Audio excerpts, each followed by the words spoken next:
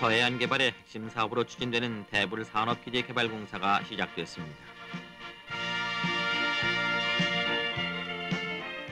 노태우 대통령은 기공식에서 지난 2월 군산 장항 광역 산업기지 착공에 이어 서해안 개발의 두 번째 사업으로 첫 삽을 뜨게 된 대불 산업기지 건설 사업은 앞으로 서해안의 산업화를 이끌어갈 원동력이 될 것이라고 밝혔습니다.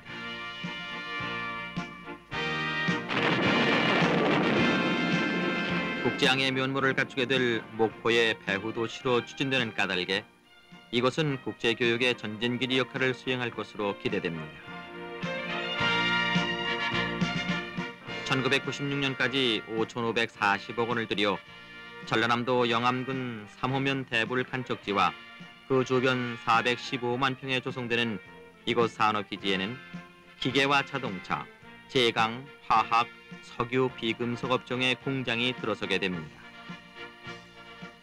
대불 산업기지 개발은 그동안 뒤떨어져 왔던 호남권을 발전케 하고 앞으로 태평양 시대 개막을 맞아 중국과의 교육 전초 기지로 활용되게 된다는 점에서 의미가 크다고 하겠습니다.